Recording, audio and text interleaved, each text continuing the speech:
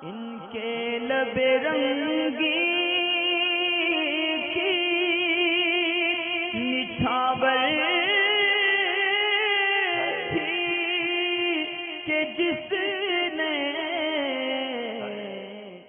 बदरुद्दीन खत्री हैं, ये कहते हैं एक मसले को लेकर परेशान है।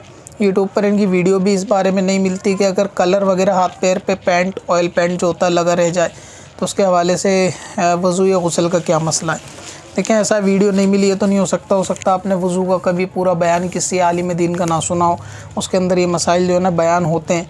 कि ऐसी चीज़ वज़ू गसल के अंदर जिसको छुड़ाने में, यानी ये समझ लें जो पेश आती है, उमूमन या खसूस लोगों के साथ उसका वास्ता रहता है और उसको छुड़ाने में हर्ज भी वाक़ होता है, यानी ये कि आसानी से वो चीज़ जाती नहीं है। तो इतनी चीज़ों की उलमा ने जो है ना वज़ू गसल के अंदर रियायत दी है। उसकी कुछ मिसालें भी पेश की है, जिसके अंदर से एक मिसाल ये है कि रंग वगैरह वाले, काम करने वाले को रंग के जो ये डॉट होते हैं ना, ये तमाम छुड़ाने के बाद भी अगर इसके कहीं लगे रह जाते हैं तो इस में उसके वज़ू के होने का हुक्म दिया। इसी तरीके से आटा वगैरह गूंदने वालों को आटा का काम करने वालों के नाखूनों में आटा वगैरह भरा रह जाता है चिपका रह जाता है और मेहंदी का काम करने वालों की ख़वातीन के मेहंदी के जर्म जो है वो रह जाते हैं।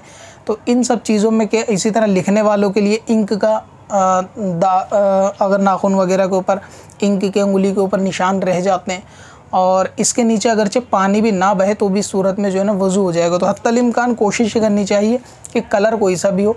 अपनी ताकत भर तमाम उसको छुड़ाने की कोशिश करना चाहिए। दूसरे तेल ऐसे आते पेंट वाले जानते हैं कि मिट्टी का तेल और दूसरे तेल ऐसे होते हैं कि जिनसे हाथ के रंग आसानी से छुट जाते हैं। तो अपनी कोशिश के हिसाब से तमाम उसको छुड़ाने की कोशिश करें। फिर भी अगर कहीं ऐसा जैसे नाखून ऐसी चीज़ है कि जिस पे से जल्दी रंग हटता नहीं है।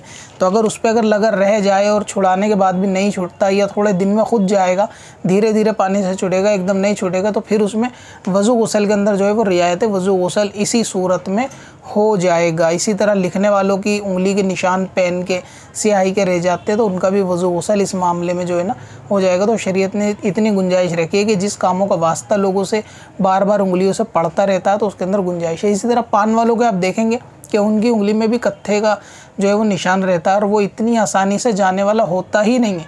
यानी उनके काफ़ी टाइम से अगर वो पान वगैरह लगाते हैं तो उनकी उंगलियाँ जो है ना लाल हो जाती है और कत्थे का जो होता है ना, निशान उसके ऊपर छूट जाता है।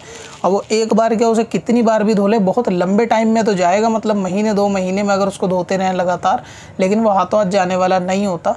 तो उसमें भी जो है ना, उन लोगों की नमाज़ हो जाएगी कि इसके अंदर एक तो मुँह में बलवा भी है, कि लोग जो है ना ऐसी आफत में मुफ्तला हो जाएँगे। और शरीयत कोई ऐसा काम पसंद नहीं करती कि कोई भी आलिम दीन ऐसा हुक्म दे जिसके अंदर कौम जो है वो बवाल में मुब्तला हो जाए या बहुत ज़्यादा आजमाइश में आ जाए तो ऐसे काम के लिए शरीयत ख़ुद गुंजाइश देती है। तो अगर ऐसा रंग या सिहाई पेन की या आटा वगैरह, नाखून के अंदर मैल वगैरह, ये सब चीज़ें इतनी छोटे लेवल की होती हैं कि जिनको आदमी चाहते हुए भी छुड़ा नहीं पाता या रह जाती हैं तो इस सूरत में वज़ू गसल जो है वो हो जाए।